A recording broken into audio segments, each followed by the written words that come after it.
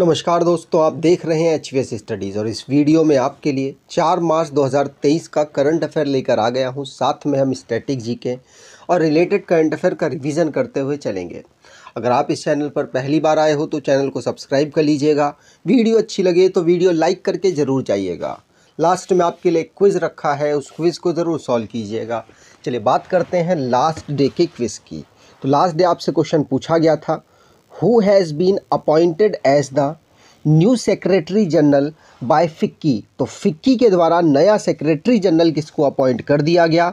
तो आप सभी ने आंसर शैलेन शैलेश पाठक दिया था और शैलेश पाठक ही सही आंसर है। आज के पहले क्वेश्चन को स्टार्ट करने से पहले आपको बता दूँ कि इस वीडियो को आप रेगुलर ज़रूर देखिएगा, जिससे कि आपको बेनिफिट मिल सके। आपके एग्ज़ाम में बिल्कुल एग्जैक्ट क्वेश्चन आएँगे और अगर एग्जैक्ट क्वेश्चन आते हैं तो आपको कन्फ्यूज़न ना हो, इसके लिए हमने यहाँ पर रिविज़न सेक्शन पर ज़्यादा ज़ोर दिया है, जिससे एग्ज़ाम तक आपको क्वेश्चंस याद रह पाएँ। इसीलिए आप इसको ज़रूर फॉलो कीजिएगा, आपको बेनिफिट मिलेगा। आज के पहले क्वेश्चन की बात करें। पहला question which political parties alliance party got majority in Nagaland assembly election 2023 तो नागालैंड विधानसभा चुनाव 2023 का हुआ, जिसमें किन राजनीतिक दलों के गठबंधन पार्टी को बहुमत मिला है? तो एक, किसी एक पार्टी को बहुमत नहीं मिला। यहाँ पर दो पार्टियों ने मिलकर सरकार बनाई, जो कि ND पीपी और बीजेपी के गठबंधन को यहाँ पर बहुमत प्राप्त हुआ है। यहाँ पर ध्यान रखिएगा, जो चीफ मिनिस्टर है नेफ्यू रियो उनकी पार्टी है एनडीपीपी। इनको बहुमत, इनके साथ बीजेपी मिलकर बहुमत प्राप्त कर पाई है। यहाँ पर नागालैंड में 60 सीटें थी, जिसका रिज़ल्ट, इलेक्शन का रिज़ल्ट 2 मार्च 2023 को आया, जिसमें एनडीपीपी मतलब कि नेशनल डेमोक्रेटिक प्रोग्रेसिव पार्टी, और बीजेपी, भारतीय जनता भारतीय जनता पार्टी, इन दोनों को मिलकर यहाँ पर जो भी मेजोरिटी की सीट्स है, तीस सीट्स होती हैं मेजोरिटी थर्टी वन सीट आधे से ज़्यादा, वो इनको मिल पाई हैं। ध्यान रखिएगा, ये पांचवी बार ऐसा हुआ है कि चीफ मिनिस्टर अब नेफ्यू रियो दोबारा से बन जाएँगे। यहाँ पर बात की जाए किस किस पार्टी को कितनी कितनी सीटें मिली तो एनडीपीपी और बीजेपी के गठबंधन की बात की जाए तो दोनों को सैंतीस सीटें मिली हैं। बट एनडीपीपी को 25 और बीजेपी को 12 सीट। एनपीएफ को दो सीट, कांग्रेस को एक भी सीट नहीं मिली यहाँ पर, और दूसरी जो पार्टीज़ हैं, पार्टी हैं, उनको 21 सीटें नागालैंड में मिली हैं। सीएम नेफ्यू रियो ही रहेंगे, सिंपल सी बात है, और गवर्नर यहाँ के ला गणेशन, जो कि अभी रिसेंटली में अपॉइंट हुए हैं। कैपिटल यहाँ की कोहिमा है। आगे बात करें, अगला question who has recently become India's eighty first chess grand master तो इंडिया के eighty first chess grand master कौन कौन बने हैं? आंसर होगा। इनका नाम है क्या? सयांतन दास। सयांतन दास वेस्ट बंगाल से बिलोंग करते हैं और इन्होंने इन्होंने eighty first grand master Bharat का बनकर एक अलग ही रिकॉर्ड बनाया है। यहाँ पर बात की जाए तो इन्होंने कांस ओपन टाइटल में जो भी रिक्वायरमेंट होती है ग्रैंड मास्टर को बनने की, उसको फुलफिल कर दिया। तो ध्यान रखिएगा, ग्यारहवें प्लेयर ये वेस्ट बंगाल के बने हैं, जो कि भारत के ग्रैंड मास्टर हुए। इनका नंबर एट्टी फ़र्स्ट है। अगर एट्टी नंबर की बात करें तो विग्नेश एन आर अस्सीवें नंबर के ग्रैंड मास्टर भारत के बने थे। वैसे उनसे पहले बात करें तो सेवेंटी नाइन नंबर के प्रनेश एम तमिलनाडु से थे। वो सेवेंटी नाइन नंबर के ग्रैंड मास्टर जनवरी में बने और कौस्तव चैटर्जी वेस्ट बंगाल के थे। दिसंबर 2022 में ग्रैंड मास्टर बने थे 78 नंबर के। 77 नंबर के आदित्य मित्तल महाराष्ट्र के थे, जो कि ग्रैंड मास्टर 2022 दिसंबर में बने थे। अगर बात करें ग्रैंड मास्टर्स की तो पहले ग्रैंड मास्टर बने थे विश्वनाथन आनंद, जो कि चेन्नई से बिलोंग करते हैं। 1987 में ये ग्रैंड मास्टर बने थे। ठीक, यहाँ पर बात की जाए सबसे यंगेस्ट ग्रैंड मास्टर की तो दोमा राजू गुकेश चेन्नई से बिलोंग करते हैं। 12 साल, लगभग 12 साल और 13 साल के बीच की उम्र में इन्होंने ग्रैंड मास्टर का जो खिताब है वो प्राप्त कर लिया था। आज आपको बता दूँ, अगर इसी प्रकार से आप स्टैटिक जीके को कवर करना चाहते हैं तो आप इसी ई बुक को परचेज़ कर सकते हैं। ये दोनों लैंग्वेज में अवेलेबल कराई गई है डिस्क्रिप्शन बॉक्स में लिंक है, वहाँ से आपको मिल जाएगी और ये आपके सभी एग्ज़ाम को कवर ऑलमोस्ट करेगी, जहाँ जहाँ स्टैटिक जीके वाला पोर्सन आता है। अगला question who has become the first women legislator elected to the Nagaland legislative assembly तो नागालैंड का विधानसभा चुनाव हुआ। वहाँ पर पहली बार ऐसा हुआ है किसी महिला विधायक चुनी गई हैं। तो कौन महिला विधायक चुनी गई, बताइए। नाम उनका है क्या? हिकानी यकालू। कौन? हेकानी जकालू नाम है, इनका ध्यान रखिएगा। तो सी ऑप्शन यहाँ पर बिल्कुल सही है। इनकी बात करें, हेकानी जखालू की तो फोर्टी सेवन वर्ष की इनकी उम्र है। सीट कहाँ से जीती हैं विधानसभा का? तो दीमापुर एक जगह है, वहाँ से जीती हैं। और एनडीपीपी पार्टी से ये बिलोंग करती हैं, जिनको बहुमत भी प्राप्त हुआ। इनकी संपत्ति इन्होंने पाँच करोड़ बताई है। इनकी एजुकेशन पोस्ट ग्रेजुएट हैं ये, ठीक? और नागालैंड में पहली फीमेल लेजिस्लेटर विधानसभा में चुनी जाने वाली महिला बनी है। ध्यान रखिएगा, पूछा जा सकता है। ठीक, चलिए आगे बात करें।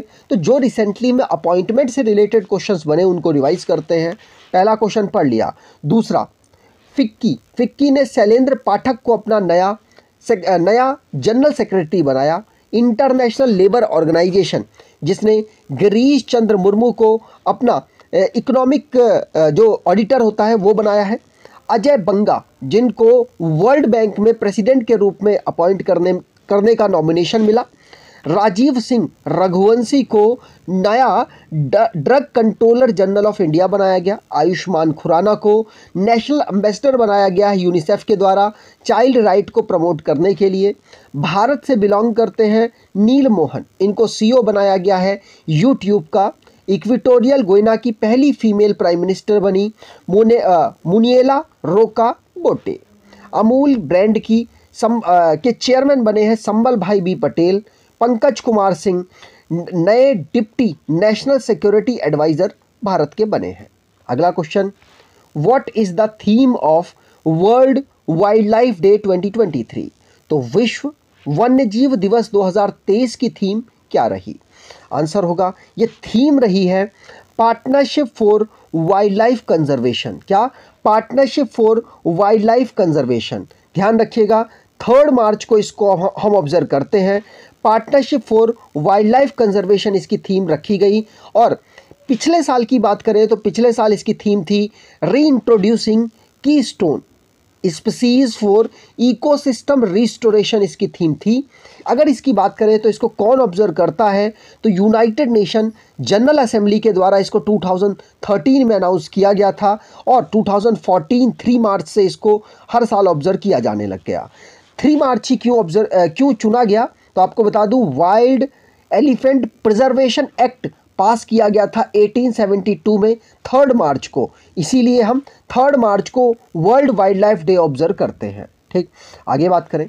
अगला question the alliance of which political parties got majority in Tripura assembly election 2023 तो अभी रिसेंटली में त्रिपुरा में भी चुनाव हुए विधानसभा चुनाव हुए, वहाँ पर किन पार्टीज़ को बहुमत मिला है?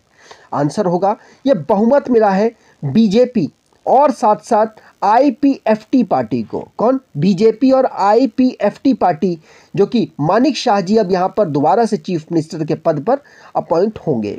तो त्रिपुरा, जो विधानसभा चुनाव हुआ, साठ सीटें यहाँ पर भी थीं, उसी प्रकार से नागालैंड में भी साठ सीटें हमने ऊपर पढ़ी। तो यहाँ पर चुनाव हुआ। दो मार्च को इनका रिज़ल्ट आया, जिसमें बीजेपी और आईपीएफटी को मेजोरिटी मिल गई। बीजेपी के चीफ मिनिस्टर मानिक शाह अब यहाँ पर दोबारा से चीफ मिनिस्टर बनेंगे। अगर यहाँ पर बात की जाए किस किस पार्टी को कितनी कितनी सीटें मिली तो बीजेपी को तैंतीस और एक सीट मिली आईपीएफटी को। ये दोनों अलायंस में काम कर रहे थे यहाँ पर। सीपीआई की बात करें तो चौदह सीटें इनको मिली, तीन सीटें कांग्रेस को यहाँ मिली टीएमपी को थर्टीन सीटें मिली और अब यहाँ पर मानिक शाह दोबारा से इसके त्रिपुरा के चीफ मिनिस्टर बनेंगे। गवर्नर सत्यदेव नारायण आर्या जी और कैपिटल यहाँ की अगरतला है। आगे बात करें, अगला question who has been elected as the new president of Vietnam Vietnam के नए राष्ट्रपति के रूप में किसे चुना गया? आंसर होगा, वो वैन थुआंग को चुना गया है। किसको? वो वैन थुआंग को। वियतनाम का नया प्रेसिडेंट। यहाँ पर आप देख पाएँगे, वो वैन थुआंग की बात की जाए। किसकी? वो वैन थुआंग की। तो एक कम्युनिस्ट पार्टी ऑफ़ वियतनाम से बिलोंग करते हैं। ये कंट्री मतलब इंडोनेशिया के माफ़ कीजिएगा वियतनाम के ये नए प्रेसिडेंट बने हैं। यहाँ पर बात की जाए तो इन इन, ये किसकी जगह लेंगे? तो रेजिग्नेशन हुआ था किसका? गुएंड जुआन पुंक का। वो प्रेसिडेंट थे। अब कौन बन गए? वो वैन थुआंग। अगर वियतनाम की बात करें तो साउथ ईस्ट एशिया का एक ये देश है, ये आशियान का मेंबर भी है। भारत इसका मेंबर नहीं है, ध्यान रखिएगा। कैपिटल इसकी हनोई है करेंसी इसकी डोंग है, प्रेसिडेंट वो वान तुआंग बन गए हैं। ठीक, अगला question, short stories collection, the book of Bihari literature by मतलब किसने the book of Bihari literature को लिखा है? आंसर होगा, इसको अभय कुमार ने लिखा है। किसको? अभय कुमार ने इसको, इस बुक को लिखा है Bihari, the book of Bihari. ध्यान रखिएगा, इसको अभय के मतलब कि अभय कुमार ने इसको, अभय कुमार महासेठ ने इसको लिखा है। ध्यान रखेंगे, पूछा जा सकता है।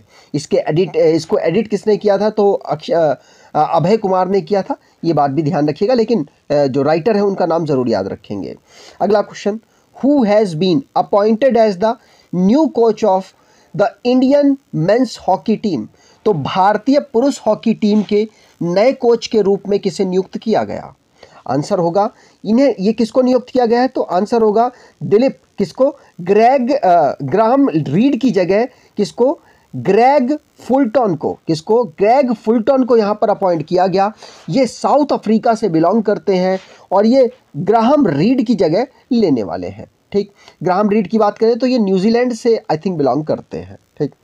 अगला question who has been elected as the new chairman of central electricity regulatory commission तो केंद्रीय विद्युत नियामक आयोग सेंट्रल इलेक्ट्रिसिटी रेगुलेटरी कमीशन के नए अध्यक्ष के रूप में किसे चुना गया? आंसर होगा, ये चुना गया है किसको? जिष्णु बरूत को, किसको? जिष्णु बरू को। याद रखिएगा तो जिष्णु बरू को यहाँ पर सेंट्रल इलेक्ट्रिसिटी रेगुलेटरी कमीशन में नया चेयरमैन चुना गया, ठीक? अगला क्वेश्चन ये भी इलेक्शन से रिलेटेड है which political party will win the maximum number of seat in the Meghalaya assembly election 2023 तो मेघालय विधानसभा चुनाव 2023 में किस राजनीतिक पार्टी ने सबसे ज़्यादा सीटें जीती? आंसर होगा। एनपीपी पार्टी के पार्टी को यहाँ पर बहुमत मिला। यहाँ पर बात की जाए तो कॉनराड के संगमा दोबारा से अब चीफ मिनिस्टर यहाँ पर इलेक्ट हुए हैं।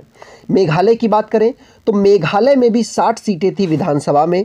जिस प्रकार से नागालैंड, जिस प्रकार से त्रिपुरा, यहाँ पर भी 60-60 सीटें थी, उसी प्रकार से मेघालय मेघालय में भी 60 सीटें थीं। लेकिन चुनाव 59 सीट्स पर हुआ है।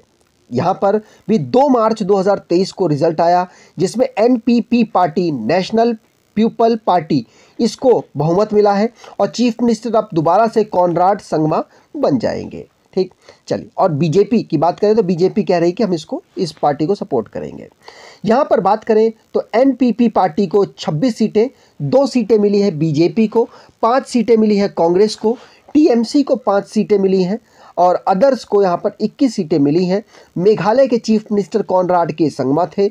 यहाँ के नए गवर्नर बने हैं फागू चौहान। कैपिटल यहाँ की शिलोंग है। आगे बात करें आज के क्विज़ की। तो आज का क्विज़ है who has been honoured with the player of the year award by the Asian chess federation तो एशियन चेस फेडरेशन ने प्लेयर ऑफ़ द ईयर का खिताब किसको दिया है? किसको सम्मानित किया है? कमेंट बॉक्स में आंसर दीजिएगा। अगर आपको ये वीडियो अच्छी लगी है तो आपसे अनुरोध करूँगा, वीडियो को लाइक कर दीजिएगा, चैनल को सब्सक्राइब कर लीजिएगा और एटलीस्ट अपने कुछ दोस्तों तक वीडियो को शेयर ज़रूर कीजिएगा। धन्यवाद।